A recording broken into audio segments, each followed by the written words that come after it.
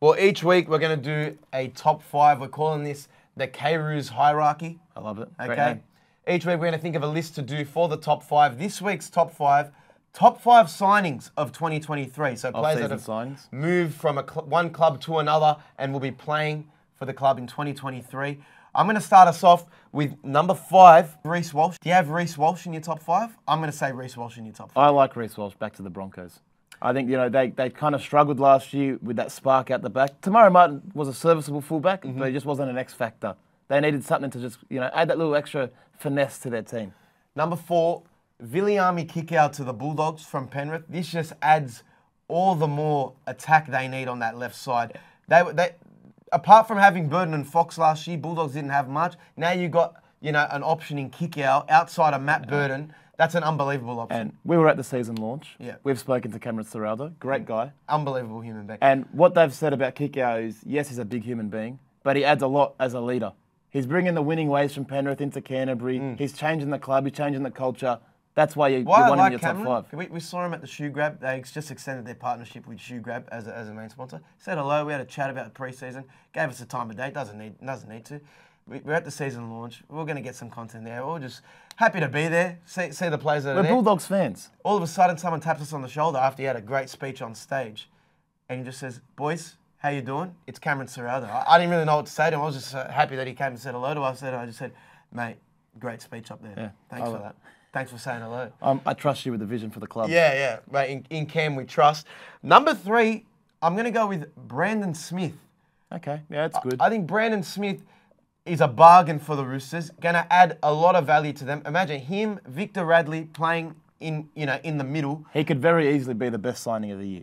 hundred percent. Very easily. He, he, he'll probably most likely play 80 minutes. Every time he's played hooker for New Zealand, he's been one of the best players on the field. So if he's doing that consistently 26 rounds of the year, he could easily be the best signing. of the It'll year. be the first time he'll be playing possibly 80 minutes at hooker, but he can transition. You know, if players go down, I know Roosters have had a depth problem the last few years. If someone goes down, he can slot into a lock. Yeah. You know what I He's mean? a He great can, signing. He can play off the bench if need be. I don't know how you don't have him at number one, but who's one and two? Who? Well, number two, uh, again, very biased here. Reed Mahoney That's not bias. for the Bulldogs. That's not bias. a quality hooker that I don't think gets enough respect that he deserves.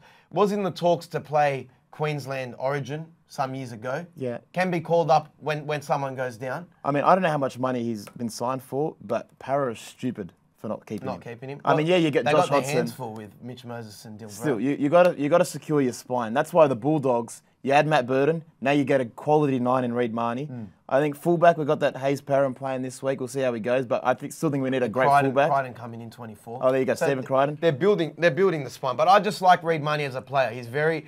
He, he, he makes his tackles in the middle. It's great service out of dummy half. Rarely misses tackles. Uh, you know, he's.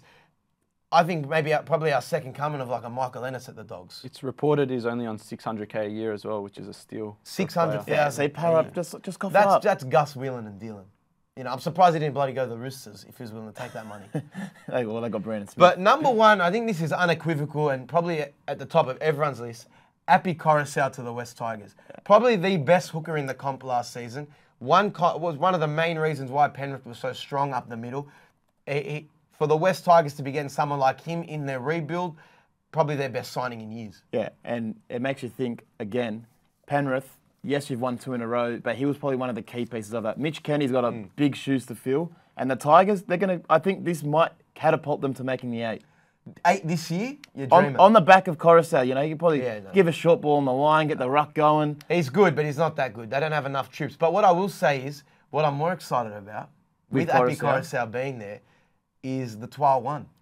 Twal to go over for his first try now that they got a quality he- hooker. has he never He's not scored a try all year. Shout out to, uh, what's, what's his name? The Roast, the NRL Roast, who put out a petition that we storm Leichhardt Oval if Twal crosses over for his first try We're ever. like we did run? Buddy 1000. I, I don't know if we're allowed yet, but the petition's out there. You can go to change.org to sign it. But uh, He's at 102 games as well. he's at 102 games. He's never scored a try. If it happens at Leichhardt, we'll be there at every game at Leichhardt this year to storm the oval if he goes over. Shout out to Alex Swire. I know, I know he's been injured, but isn't it a rule among NRL clubs that if you don't score during the season, you got to nudie run? Yeah, he's probably, probably done a few. He's done a few done, of them? He's done. He's had six. He's had six Debuted in seasons. 2017, yeah. Yeah. 100, so- 100 games is about five seasons. I think this year is the year that Twal goes over because of Api Koroisau and we'll be there to storm the field. I think for his Alex. I think his previous hookers had a bit of a crush on him, and wanted to see him naked run around the oval. Nah, I don't think that. I just he's just been unlucky. Obviously, last year he lost a lot of games due to injury and the concussion.